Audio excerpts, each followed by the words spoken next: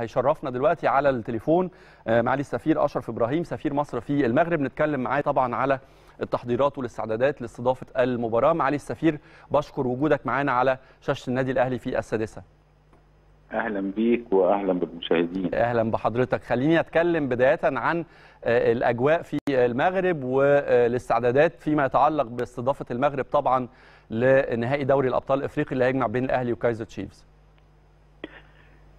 طبعا يعني هي الأجواء طبعا في اهتمام بالمباراة بما إن هي يعني نهائي بطولة البطوله الأفريقية.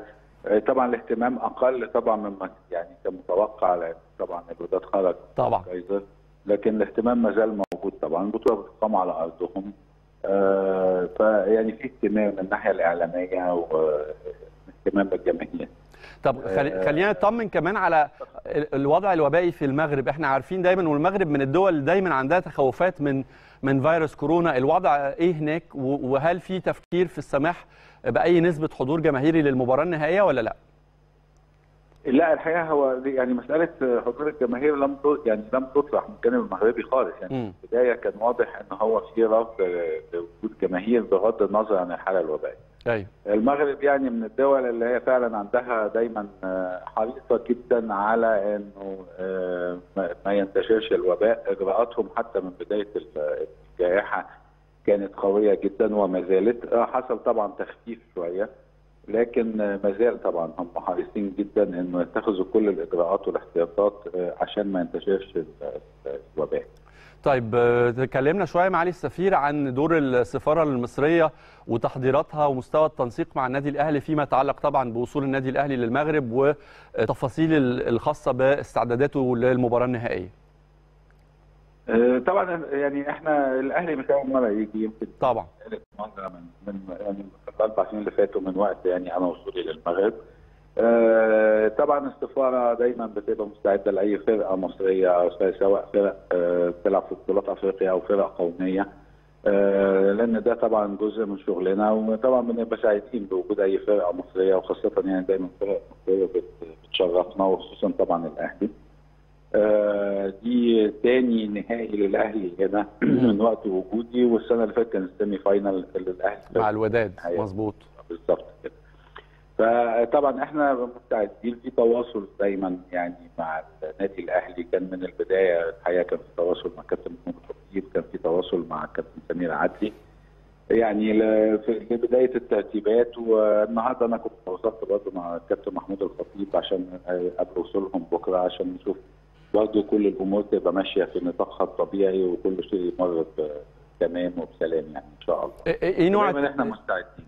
طبعا بالتأكيد ما فيش شك في ده بس برضه مهم نعرف إيه نوع ال ال مش عايز أقول تحديات خليني أقول الصعوبات اللي ممكن تكون هتواجهها فرقة النادي الأهلي ودور طبعا حضرتك معالي السفير ودور السفارة المصرية في التعامل مع العقبات أو الصعوبات دي.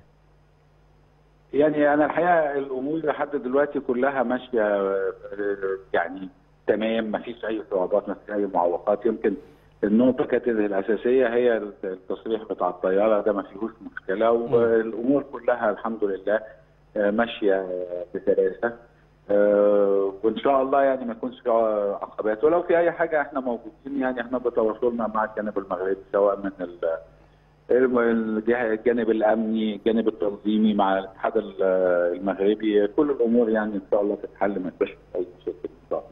هل فيما يتعلق بانه يكون في فقاعة طبية؟ وإحنا يمكن كان في كلام من قبل المغرب انه هيكون في فقاعة طبية قبل المباراة.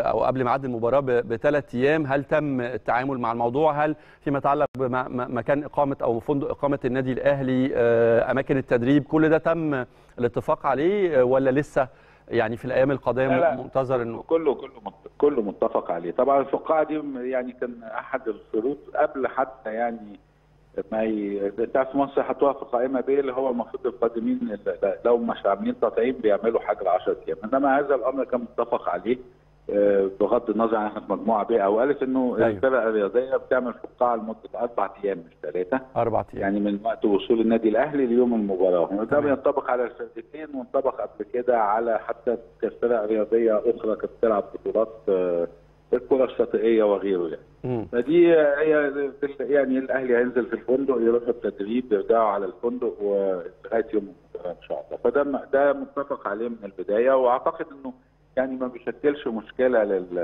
للفريق لأنه الفريق تركيزه الأساسي في التدريب والمباراة يعني. الجالية المصرية في المغرب بعتبر بعتقد يعني عددها كويس. يعني عندنا أعتقد جالية مصرية في المغرب وهل في ترتيبات بينها وبين السفارة أو السفارة بتنسق فيما يتعلق باي حاجة ليها علاقة بالمباراة ولا ده شيء بعيد عن الدور اللي بتقوم بيه سفارة مصر في المغرب؟ لا طبعا إحنا عادة بننسق مع الجالية بالنسبة لل في الأوضاع الطبيعية طبعا لأنه الجالية بتحب تحضر خصوصا يكون نهائي يعني بصفة عامة يعني الاهلي أو أي فرقة مصرية الجالية بتحب طبعا تروح تشجع تبقى مناسبة وعيد طبعا الأهلي بيلعب نهائي في في المغرب بالتاكيد إن الجالية المصرية كلها كانت تحب تحضر طبعا حصل تواصل مع الجالية وتساؤلات من الجالية لحضور المباراة لكن للأسف طبعا زي ما قلنا كان قرار الحكومة المغربية إنه ما يكونش في جماهير. آه إنما يعني الجماهير أعتقد أو الجاليه المصرية أكيد هتكون بترحب بالاهلي في, مكان اقامته ان شاء الله.